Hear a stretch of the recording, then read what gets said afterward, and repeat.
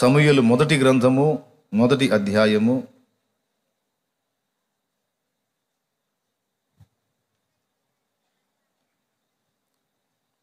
ఐదు ఆరు వచనాలు. హన్నా తనకు ప్రియముగానున్నందున ఆమెకు రెండు పాళ్ళు ఇచ్చుచూ వచ్చెను. యహోవా ఆమెకు సంతు లేకుండా చేసెను. ఆరో వచనం. యహోవా ఆమెకు సంతు లేకుండా చేసి ఉన్న హేతువును బట్టి ఆమె వైరియగు పెనిన్న ఆమెను విసిగించుటకై ఆమెకు కోపము పుట్టించుచు వచ్చెను. ఇప్పుడు చదువుకున్న ఈ వాక్య భాగంలో తన దాసురాలైనటువంటి హన్న ఈమె జీవము గల దేవుడైన యహోవాను ప్రేమించి ఆయన ఎందు భయభక్తులు కలిగినటువంటి స్త్రీ. ఈమె భర్త పేరు ఎల్కానా ఈమె పేరు హన్నా.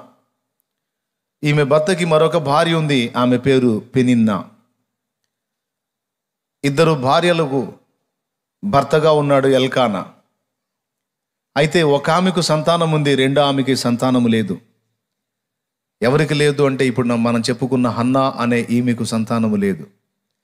సంతానం ఎందుకు లేదు అంటే స్ట్రైట్గా రెండు సార్లు వాక్యంలో చెప్పాడు ఐదు ఆరు వచనాల్లో యహోవా ఆమెకు సంతు లేకుండా చేసెను అన్నాడు. యహోవా అంటే దేవుడే ఆమెకు సంతానము లేకుండా చేసెను. ఐదో వచనంలోను ఆరో వచనంలోను రెండు సార్లు ఉంది భక్తిహీనులకైతే దేవుడు సంతానం లేకుండా చేశాడు అంటే అర్థం ఉంది. మరి భక్తురాలికి తననెంతో గాఢంగా ప్రేమించి ఆయన ఎందు భయభక్తులు నిలిపిన ఆమెకి దేవుడు సంతానం లేకుండా చేశాడు అనే మాట విచిత్రమైంది కాదంటారా? ఆలోచించదగింది కాదంటారా? ఖచ్చితంగా ఆలోచించాల్సిందే.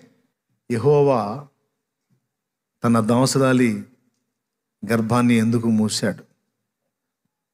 ఎందుకని ఆమెకు సంతు లేకుండా చేశాడు? భక్తిహీనులకి సంతానం లేకుండా చేస్తే అర్థం ఉంది. భక్తురాలికి సంతానం లేకుండా చేయటం ఏంది? పాపం క్రమం తప్పకుండా దేవుని సన్నిధికి వచ్చి ప్రార్థన చేసుకొని కృతజ్ఞతలు చెల్లించి ఆయన ఎందు భయభక్తులు నిలిపి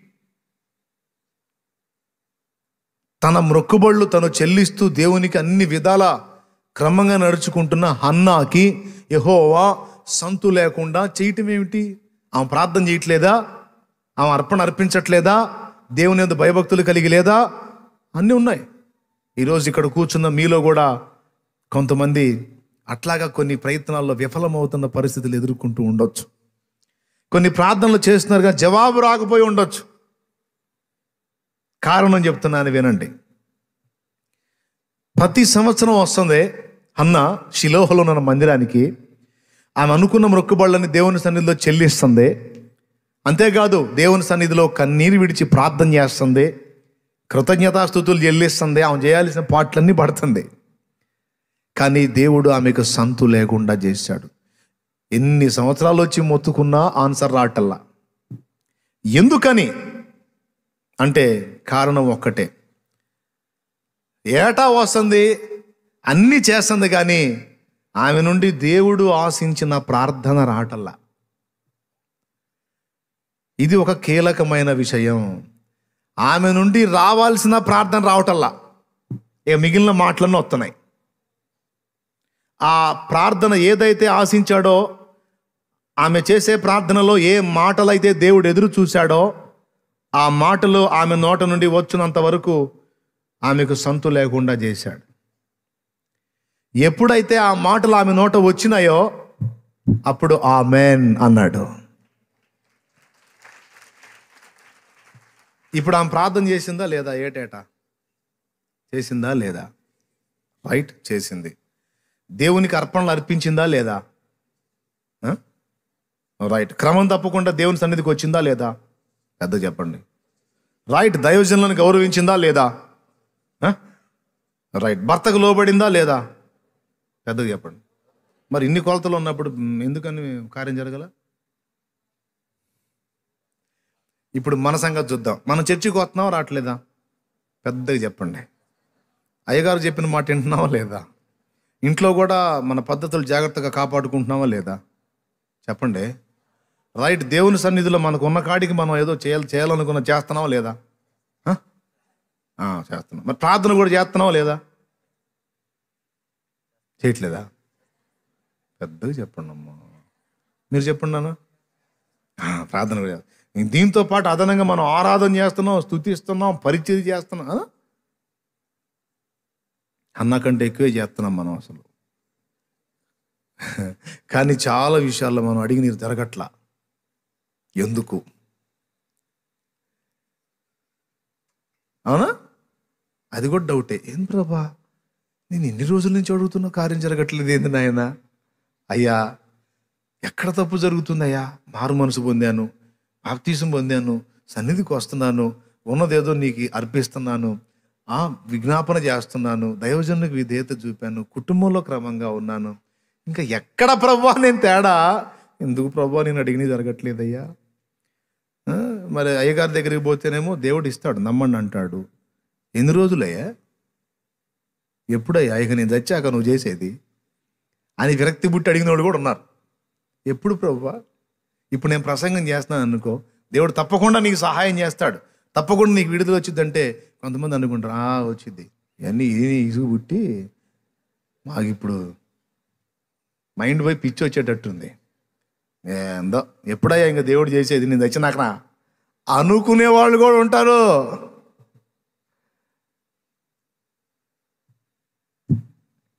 కానీ అనుకున్న దేవుడేమి తొందరపడాడులే అన్న విషయంలో ఏం జరిగిందంటే అన్నాకి దేవుడు ఏదో ఒక బిడ్డని ఇవ్వాలనుకోలా శ్రేష్టమైన బిడ్డని ఇవ్వాలనుకున్నాడు శ్రేష్టమైనది ఇవ్వాలనుకున్నాడు.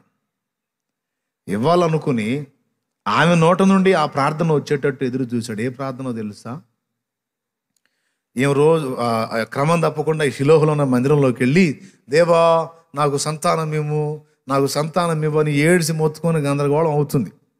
ఆయన మౌనం. ఓకే. ఏడు.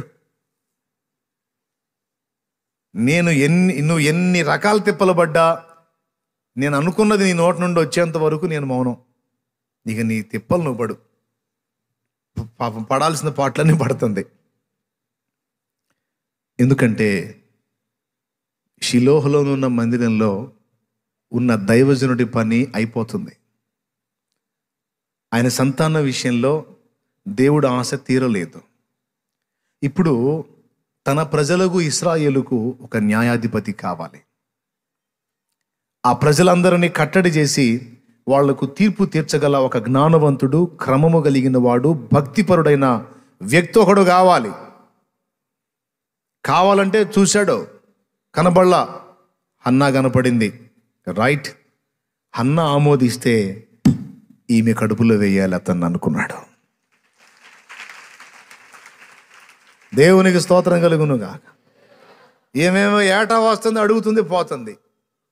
ఇక ఆ సంవత్సరం ఏం చేసిందో తెలుసా? వచ్చి కూర్చొని మాటలు బయటికి రాట్లా. మాటలు నోట్లోనే లోపల లోపలే. కొంతమంది ఎలుగెత్తి ప్రార్థన చేస్తే దేవుడికి వినపడిద్దని పక్కన వాళ్ళని కూడా అదురుకునేటట్టు కేకలేస్తారు. ఇట్లాంటి రేయిసామని ఎలుగెత్తి ప్రార్థన చేస్తే పక్కన వాళ్ళు అదురుకొని సత్తారు. గావు కేకలు పెట్టి ప్రభా! అయ్యా! సరే నీకున్న భారాన్ని బట్టి ఏదో ఎలుగెత్తి కేకలేసి ఎప్పుడన్నా అవసరం. అట్ట కాదు. ప్రార్థన చేసే ప్రతిసారి పెద్దగా కేకలేసి చేయాలి అనుకుంటారు ఏమో గావు కేకలు పెట్టి చేస్తుంటారు కొంతమంది. నేను చెబుతున్నా అన్న అలా ప్రార్థన చేస్తే చేసి ఉండొచ్చేమో కానీ ఇక్కడ ఆమె శబ్దము బయటికి వినబడుకున్నది ఆమె పెదవులు మాత్రము కదులుచున్నవి అనుంది. మొదటి సమయాల గ్రంథము మొదటి అధ్యాయంలో హన్నా ప్రార్థన చేసినప్పుడు ఆమె పెదాలు కదులుతున్నాయి సౌండ్ బయటికి రావట్లేదు పాపం అక్కడ ఉన్న దైవజనుడు ఆమెను చూసి ప్రార్థన చేస్తే బయటికి కనపడిద్ది కదా ఈ మనిషి ఏంది ముందుకు వెనక్కి తూగుతుంది ఏందేందో పెదాలతో కదిలిస్తూ ఉంది బాగా ఫుల్ అయిపోయినట్టుంది అనుకున్నాడు. ఏమమ్మా? ఏమాయ్? ఏం చేస్తున్నావు? ఏం చేస్తున్నావు? ఎందాక మత్తురాలవై ఉందో నీ యొద్ద నుండి ద్రాక్షరసము తొలగించుము అన్నాడు. ఆశ్చర్యపోయి లేచి అయ్యా ఏంటి మీరు అన్నది ఆ మరేంటి? బాగా తాగినట్టున్నావు కదా అంటే నీ దాసురాలైన నేను అలాంటి దానను కాను కాను. నేను ఇది ఇలాగ గొడ్రాలునై ఉన్నాను. గర్భఫలం కోసం యహోవా సన్నిధి నా హృదయము కొమ్మరించుకుంటున్నాను. గావు కేక వేస్తేనే దేవుడు వింటాడు అనుకోవద్దు. ఎలుగెత్తి ప్రార్థన చేయటం నీకు అలవాటు అయితే మంచిదే చెయ్యి ఇబ్బంది ఏం లేదు. కానీ అలా ఎలుగెత్తి గావు కేకలు వేస్తేనే దేవుడు వింటాడు అనుకోవద్దు. అన్ని భాషల కంటే కన్నీటి భాష ఇంకా బాగా అర్థమైంది దేవునికి. అన్ని భాషల కంటే కూడా కన్నీటి భాష దేవునికి బాగా అర్థమైంది కొన్నిసార్లు దేవుని సన్నిధికి వచ్చినప్పుడు మాటలు ఉండవు మనకి. మన హృదయంలో ఉన్న వేదనను బట్టి గుండెలో అయిన గాయాన్ని బట్టి మనకున్న పరిస్థితులను బట్టి మాటలు రావు. ఏం మాట్లాడాలో కూడా తెలియదు. ఆయన ముందు కూర్చొని అలాగే ఏడవటమే. ఈ కళ్ళ మీద కళ్ళ నుండి నీళ్ళు కారిపోతూ ఉంటాయి. ఏం మాట్లాడాలో నిరోమయం అయిపోతుంది. ఏడుపు వస్తూ ఉంటుంది ఏడుస్తూ ఉంటుంది ఏడుస్తూ పక్కన వాళ్ళకి అర్థం కాదు ఏంది ఏడుస్తూ కూర్చున్నాడు ఏడుస్తూ కూర్చుంది ఏంటి ఏంటి? కానీ దేవుడికి అర్థమైంది ఎందుకు ఏడుస్తున్నావో? దేవునికి అర్థమైంది ఎందుకు రోధిస్తున్నావో? దేవునికి అర్థమైంది ఎందుకు మూలుగుతున్నావో? అన్న మూలుగులను ఆమె కన్నీళ్ళను దేవుడు గమనించాడు. ఆ రోజు తన పెదాలతో బయటికి సప్పుడు లేకుండా లోపల ఒప్పుకుంది ఏమన్నా తెలుసా? దేవా నీవు నాకు ఒక మగ పిల్లను దయచేయి. వాడు పుట్టినది మొదలుకొని వాని తల మీదకి కత్తి రాకుండా ఇది క్షవరపు కత్తి రాకుండా వాణ్ణి నీ కొరకే అప్పగిస్తాను నీ కొరకే వాడిని ఇస్తానయ్యా. నీ సన్నిధిలో వాడిని అప్పగిస్తాను. నాకు మగ పిల్లను దయచేయమని అడిగింది. రైట్ ఆ రోజు ఆ రోజు ప్రార్థన స్వీకరించాడు. అంటే అన్ని రోజులు ఎదురు చూసిన ప్రార్థన ఆ రోజు చేసింది ఆమె. ఆ రోజే ఏలి దృష్టిలో పడేటట్టు చేశాడు ఆమెని. అప్పటిదాకా వచ్చిపోయింది కానీ ఆయన పట్టించుకోలే. ఆ రోజు మాత్రం పర్టికులర్గా అబ్జర్వ్ చేశాడు. బహుశా ప్రతిసారి వచ్చినప్పుడు ఎలుగెత్తి ప్రార్థన చేసిందేమో పట్టించుకోలే. ఈసారి వాయిస్ బయటికి రాకుండా అంత పెద్దాలు కదిలిస్తా ముందుకు వెనక్కి తూగుతా రోదం చేస్తూ ఉంటే ఆయనకు డౌట్ వచ్చింది. అంటే ఆయన దృష్టి ఆమె మీదకి వచ్చేటట్టు చేసి ఆమెను అలాగ అడిగేటట్టు చేసి ఆమె తన విషయం చెప్పినాక ఆ ఏలి కూడా పలుకుతాడు. నీవు కోరుకున్నట్లు యహోవా నీకు దయచేయను కాకపో అంటాడు. ఆమె చేత చేయించాల్సిన ప్రార్థన చేయించి తర్వాత ఏం చేశాడు? డైరెక్ట్గా దేవుడు బ్లస్ చేయకుండా తన దాసుని ద్వారా వాగ్దానం ఇప్పించి పంపించాడు. తన దాసుల్ని వాడుకుంటాడండి దేవుడు. వాళ్ళ ద్వారా ఆయన పలికించే మాటలు రూఢిపరిచే దేవుడు ఆయన. ఏలి పరిస్థితి ఎలా ఉందో అది పక్కన పెట్టేస్తే ఏలి కొడుకుల్ని క్రమంగా పెంచలా ఈ పక్కన పెట్టేస్తే ఏలి దైవజనుడు గనుక ఆయన నోట పలికిన మాట దేవుడు గౌరవించాడు. అలాగే హన్న తీర్మానాన్ని కూడా దేవుడు హర్షించాడు. ఏ ప్రార్థన ఆమె నుండి రావాలో అది వచ్చిందాకా ఆమెకు కార్యసిద్ధి కలగల. చివరాఖరికి ఆ ప్రార్థన వచ్చింది అంతే మరుసటి ఏటికల్లా బిడ్డ చేతికి వచ్చేసాడు హన్న అడిగింది మొదట ఎందుకు అడిగిందో తెలుసా? తను గొడ్రాలు అని నింద మోస్తుంది. అన్ని పోర్ల కంటే దారుణమైన పోరు సవతి పోరంట. తన సాటి మనిషి సంతానవతి అయి ఆ పిల్లల్ని బాగా అల్లారు ముద్దుగా పెంచుకుంటుంటే తను ఆ పిల్లల్ని పిలిచి దగ్గరకు తీసుకుపోతే రైట్ రా. గొడ్రాల చేతిలోకి వెళ్తావేరా విధవా. దరిద్ర గొడ్డల దగ్గరికి వెళ్తావే నీకేమన్నా అయితే నేను అల్లాడొద్దు. వెళ్ళవాకో దా అంటే ఎంత ఏడ్చుకుంటుందండి? గొడ్రాలు దరిద్ర కొట్టుది శాపగ్రస్తురాలు ఆమె దగ్గరికి వెళ్తావేరా అంటే ఎంత గాయం? అందుకే ఫస్ట్ కారణం నా సాటి మహిళ నన్ను అవమానంగా మాట్లాడుతుంది ఆమెకు ఆ మాట మాట్లాడకుండా ఆమె నోరు మూపిటానికి దేవా! కొన్ని సంవత్సరాలు అట్ట గడిచిపోయింది. దేవుడే మాట్లాడాల. అంటే ఇప్పుడు నేను బిడ్డనిస్తే ఆమె నోరు మూపిస్తావు అన్నమాట. ఇందుకే అన్నమాట. నేను ఏంలే ఎందుకనో దేవుడు ఎట్లా జవాబు? కొంచెం ప్లేట్ ఫిరాయిద్దాం. అని తర్వాత ఏం చేసింది? నన్ను అందరూ గొడ్రాలు గొడ్రాలు అనే వేదన పెడుతున్నారయ్యా. నాకు బిడ్డని అయ్యా. ఆ నెపం తీసేయి ప్రభువా అని మళ్ళీ ఒక రౌండ్. చివరికి ఏ మాట పలికితే ఇచ్చాడండి? దేవా యహోవా నాకు ఒక మగ బిడ్డ వాణ్ణి నీ కోసం పెంచుతా.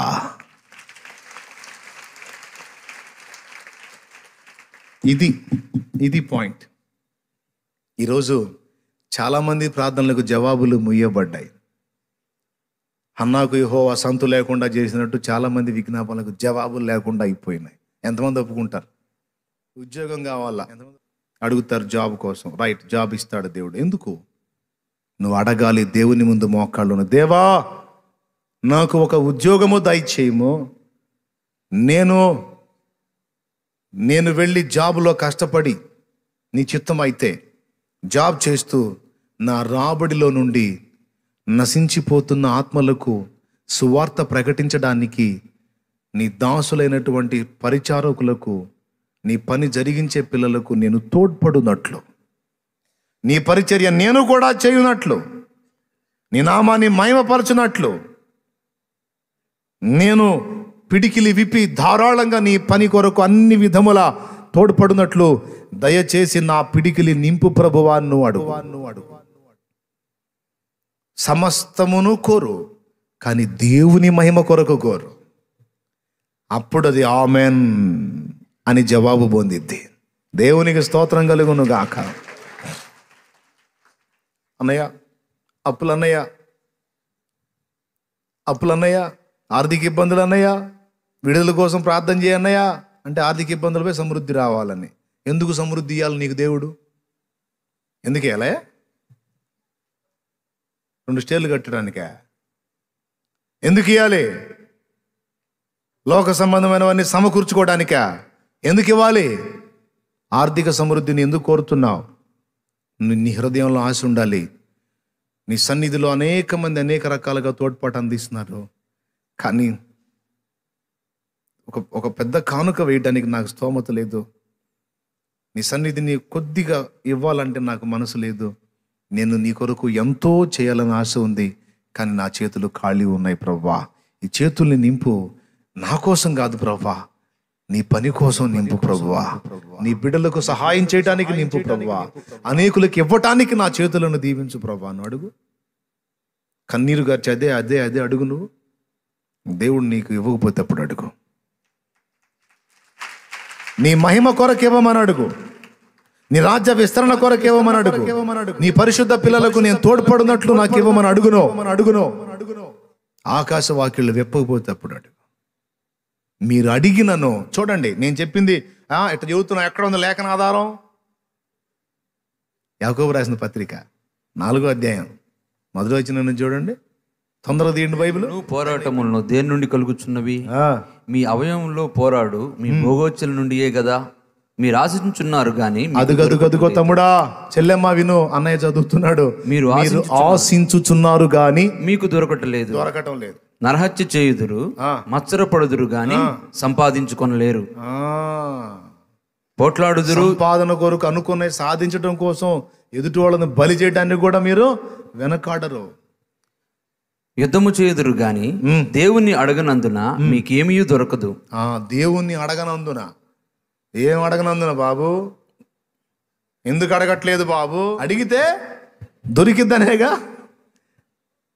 మరి అడిగితే దొరికిద్ది అన్నప్పుడు మరి రోజు ఆల్నైట్ ఆల్నైట్కి ఆదివారం శుక్రవారం బుధవారం అడుగుతానే ఉన్నాగా ఇక్కడ జాలం అన్నట్టు ఇంటికాడ పోయి కూడా మోకాళ్ళేసి అదే పనిగా. ఏది మరి? ఆ తర్వాత చదువు. మీరు అడిగిననో? మీరు అడిగినను మీ భోగముల నిమిత్తము వినియోగించుటకై అది కథ దురుద్దేశముతో అడుగుదురు అది అబ్బాయి విషయం. మీకేమీ దొరకటలేదు. స్తోత్రం. అది విషయం. మీరు అడిగినను మీ భోగముల నిమిత్తము ఇంకా?